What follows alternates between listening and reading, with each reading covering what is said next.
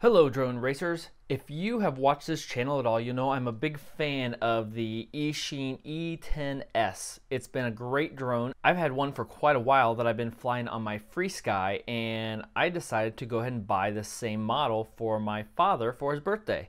But he has a Spektrum. And with the Spektrum, the setup is a little bit different. I sent this to him and just gave it to him and said, here, set it up and see if there's a video on how to get it going. Well, it turns out the instructions that it comes with are atrociously bad. They were actually for a FrSky. They were no good at all. He has a DX6i. This is actually my DX6i. And it took me long enough to get it set up that I decided it would be worth it to go ahead and make a video for setting the E10S up with a Spektrum. This is a DX6i. It should be similar with your other radios, but hopefully this helps somebody. I will say I've already had to go through the process of setting this up, so some of it I'm just gonna have to talk about and won't be able to show quite as well, but I'm gonna do my best to go through every step that you need to do in order to get your E10S working with your Spektrum radio.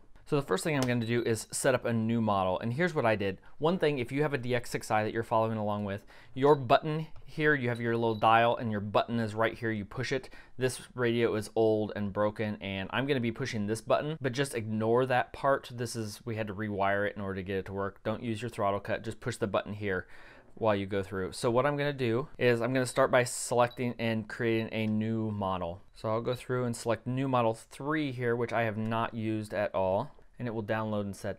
It defaults on this radio setting up as a heli, which I don't want because these actually fly more like planes than helicopters.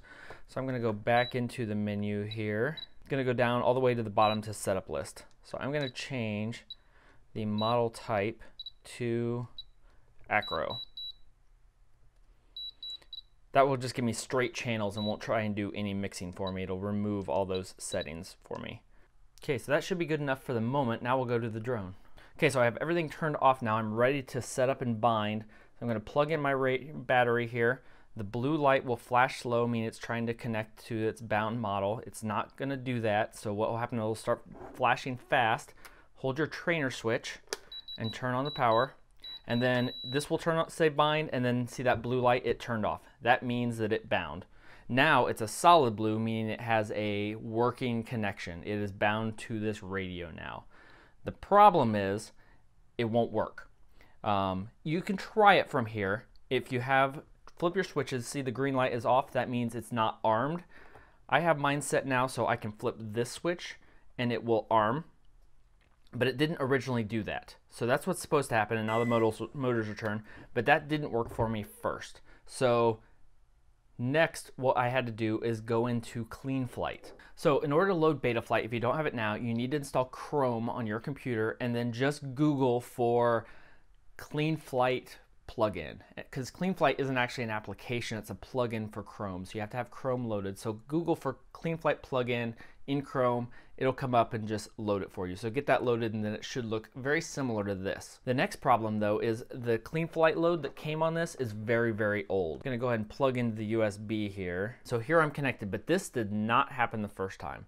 The first time it gave me an error that said the version is too old. So what you have to do is upgrade the firmware on this to start with. The easiest way to do that is to unplug the battery here, have a USB port plugged in here and unplug it from your computer. Turn off my radio to save battery for now. Then in CleanFlight, you go to firmware flasher and it, this is an SP Racing F3 and I believe it was running one one something, 112, I don't know you need to upgrade it to a version of 2. So 2.1, 205 is fine. I think I have 205 running on it at the moment.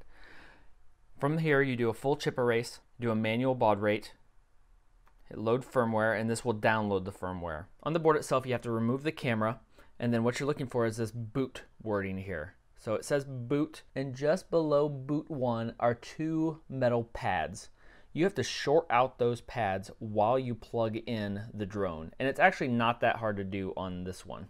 I'm gonna go ahead and choose the new 2.1 firmware so you can actually go through this process because that is not what I loaded before.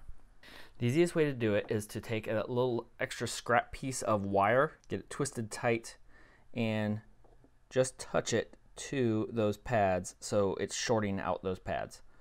And then plug in the USB with your other hand on the computer because it's easier to get that side than it is to plug in the drone.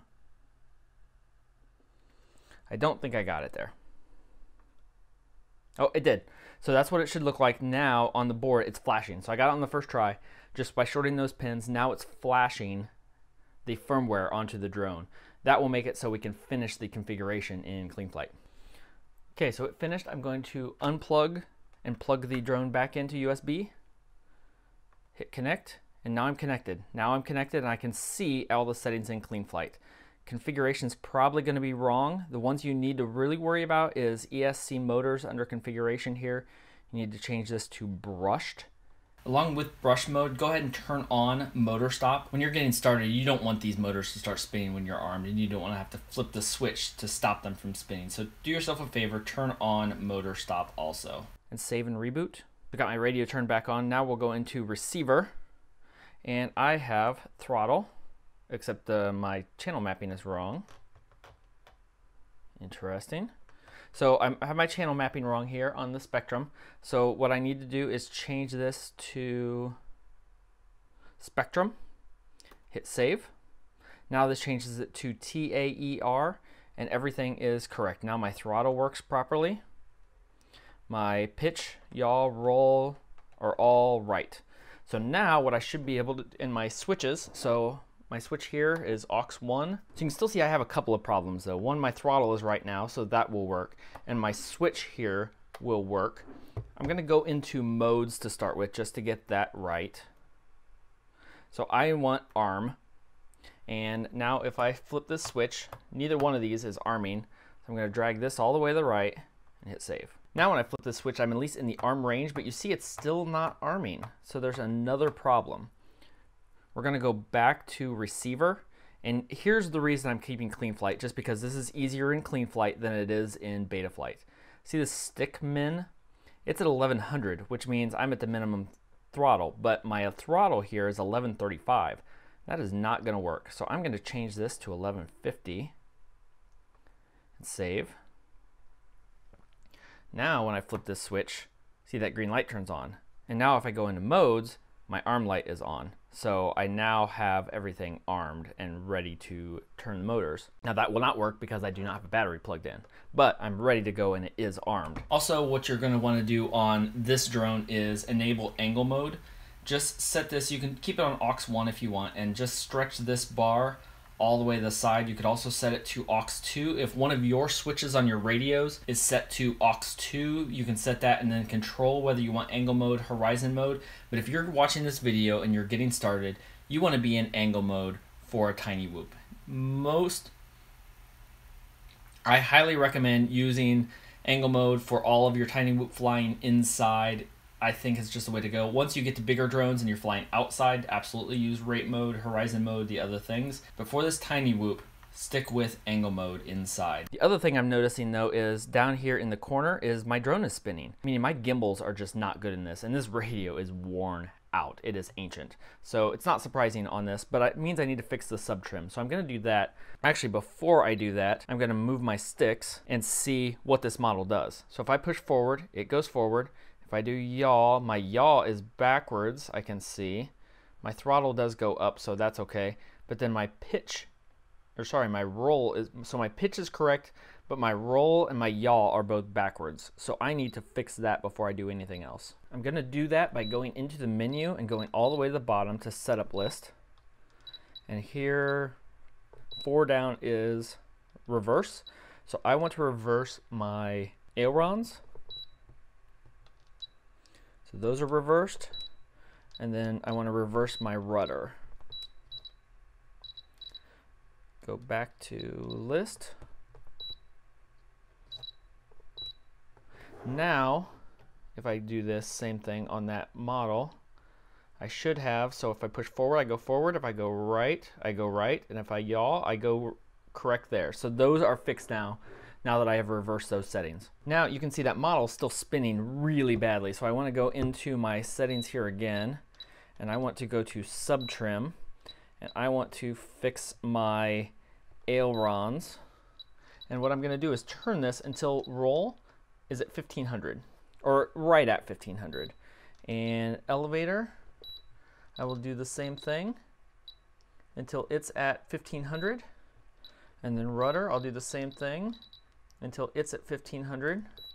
Now, you'll see this model in the corner is staying pretty much still. That way the drone knows that it's centered and now you can see it's not moving at all. So now we should be able to test flying it. Now I've plugged in the battery. I have no green light or it's flashing. If I hit arm, it will arm. Actually, it won't arm because I was at too much of an angle. It has to be on a flat surface. So it will arm. The motors are not spinning because I have motor stop turned on. If I turn on the throttle just a little bit, it will start the motor spinning. Right now, we're gonna do a try to test flight. Gonna, gonna flip the switch to arm and take off. And that looks nice and smooth. If you found this useful, leave a like and a comment down below just letting me know that uh, this, this helped out somebody. If you need additional batteries for this, there's a link down below in the description for the best deal I've found where you can get a five pack of these for like two or three dollars each along with the charger. The one I use for all of these now. Make sure you subscribe so you see all the additional things because if you've got one of these, this is just the first step into a larger world for most people. I review lots of additional drones, inside, outside drones, brushless, brushed, all kinds of stuff. So I'm sure you'll enjoy the uh, content and find even more things useful. And until next time, remember, now I just need the FlySky version to have the full set.